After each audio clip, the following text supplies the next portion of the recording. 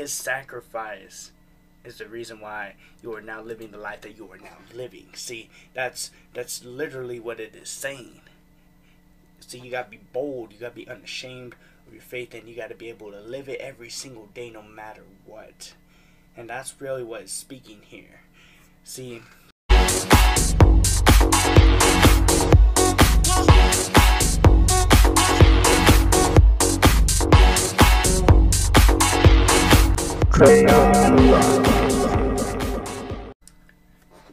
So Romans 10:9 If you openly declare that Jesus is Lord and believe in your heart that God raised him from the dead, you will be saved. Romans 10:9 If you openly declare that Jesus is Lord and you and believe in your heart that God raised him from the dead, you will be saved. See, this is when we start talking about our faith. This is when we start really digging down deep in what we believe in and why we're saved. See, in this Bible verse, you know, you openly declare, right? You openly declare that Jesus is Lord and that, you know, He's the reason why you're here. You know, He's the reason why you're saved. His sacrifice is the reason why you are now living the life that you are now living. See, that's that's literally what it is saying. See, you gotta be bold, you gotta be unashamed of your faith, and you gotta be able to live it every single day, no matter what.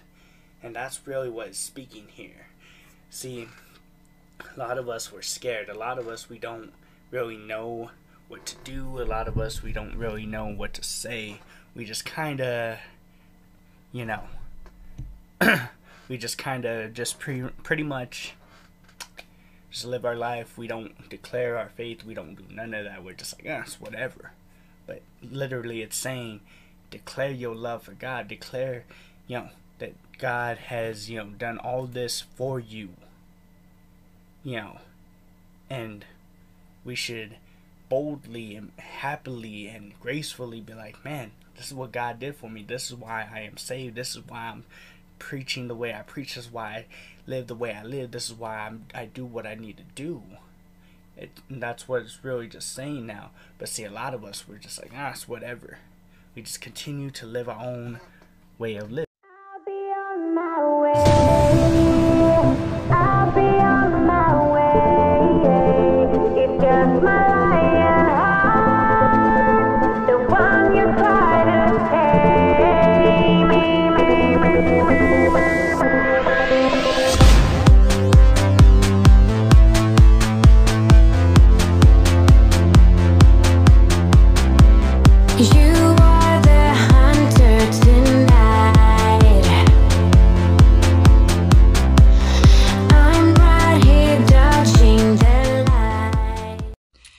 If you made it to the end of this video, I appreciate you so much, more than you ever know.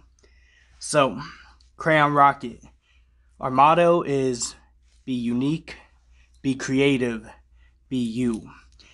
Why is this important? Because we were all created in the image of God. We were all perfectly and wonderfully made. So I hope that you enjoyed this video. Share it, like it, subscribe. I would appreciate it. God bless.